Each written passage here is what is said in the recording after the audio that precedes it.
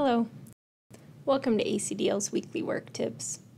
Clients of vocational rehabilitation do not need to use a comparable service before VR provides necessary rehabilitation technology for them to reach their employment goal. Although VR may ask clients to use comparable benefits, rehabilitation technology is considered necessary for a job seeker to participate in the VR program. Federal law says that VR cannot make people use comparable benefits for this particular service. If you need AT or other rehabilitation technology from VR before you can work successfully, and they tell you that you have to pay for it, contact ACDL. For more information on this topic, check the links below.